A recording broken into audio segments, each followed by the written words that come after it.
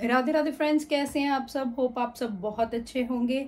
मैं आज आपको जानकारी दूँगी कल के बारे में। कल है शनि जयंती, जो कि ज्येष्ठ के महीने में ये शनि जयंती पड़ रही है। साथ में अमावस्या भी है। ये बना रहा है शोभम योग। शोभम राजयोग बन रहा है और इसके साथ ही मेष राशि में चंद्रमा और जुपिटर गुरु इकट्ठे बैठकर गज केसरी योग बना रहे हैं। ये योग, ये कल का दिन बहुत महायोग और राजयोग लेके आ रहा है। जो भी इंसान कल के दिन शनि देव को प्रसन्न कर लेंगे और जो भी इंसान के ऊपर शनिदेव की ढैया चल रही है, शनिदेव की साठ सती चल रही है, जो कल कल के उपाय जो भी इंसान कर लेगा, शनिदेव उन्हें मालो माल कर देंगे। सो, आपको करना क्या है? मैंने कल की वीडियो में भी कुछ उपाय दिए थे और आज की वीडियो में भी कुछ इजी टिप्स दूँगी और उपाय दूँगी जो कि आपको कल करने हैं। कल मैंने आपको मंत्र बताए थे कि हमें शनिदेव को प्रसन्न करने के लिए क्या मंत्र करने चाहिए। आज मैं आपको एक उपाय दूँगी। एक नहीं, दो उपाय दूँगी जिससे आप अपने जो भी साढ़ सती चल रही है, शनिदेव की दृष्टि आप पर अच्छी नहीं चल रही है, आप उससे निजात पा सकेंगे और उससे आप इजीली निकल सकेंगे। सो so, मैं आपको शनिदेव को प्रसन्न करने के लिए दो उपाय दे रही हूँ। पहला उपाय आपको क्या करना है? कांसी की कटोरी लेनी है। कांसी की कटोरी लेकर उसमें आधा सरसों का तेल डालना है।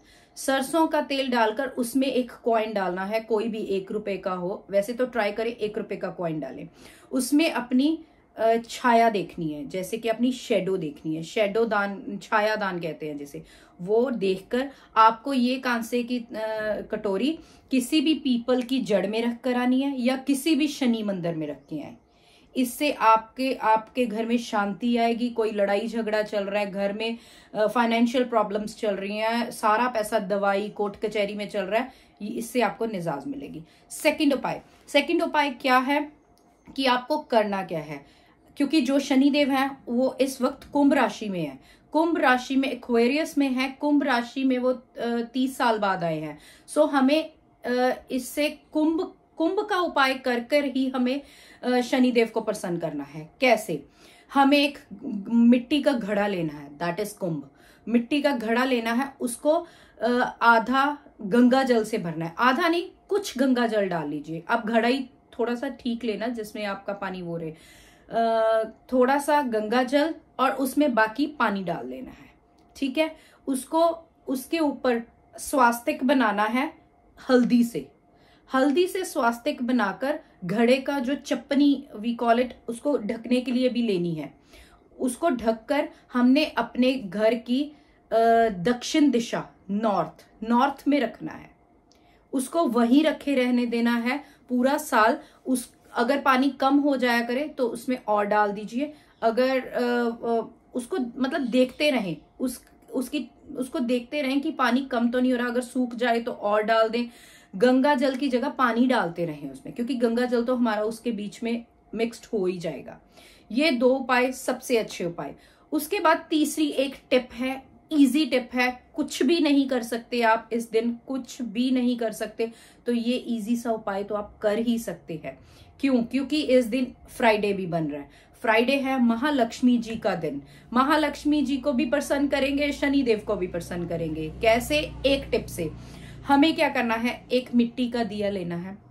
सरसों का तेल उसमें डालकर ये दिया पीपल की जड़ में जलाकर आना है। क्योंकि इस दिन लक्ष्मी जी का वास भी पीपल में होता है। और शनिदेव को तो पीपल पीपल का वृक्ष बहुत प्रिय है। So friends Radhe Radhe thank you for watching my channel please ये उपाय किया कीजिए। नहीं कर सकते कुछ भी तो एक आदि इजी टिप में देती हूँ।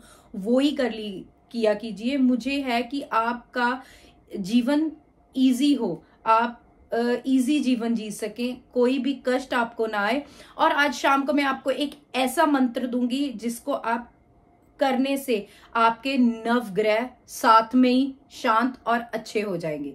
एक हम क्या करते हैं एक ग्रह को शांत करते करते दूसरा ग्रह खराब होने लग जाता है। सो so, ऐसा नहीं मैं आपको एक मंत्र बीज मंत्र दूँगी जो करने से आपके सारे नव के नव ग्रह शांत हो जाएँगे। शाम की वीडियो ज़रूर देखना बहुत ज़रूरी है। So so, Radhe Radhe friends thank you for watching my channel मेरे चैनल को लाइक सब्सक्राइब शेयर ज़रूर कीजिए। आगे भी शेयर किया कीजिए सो so दैट मैं आ, वो भी आ, आगे मेरे साथ और ऑडियंस जुड़ सके अपनी प्रॉब्लम्स बताएँ और मैं उसका भी सोल्यूशन लेके आ सकूँ। राधे राधे फ्रेंड्स कल की शनि जयंती के लिए आज से ही हार्दिक शुभकामनाएँ। कल मिलते हैं फिर राधे राधे फ्रेंड्स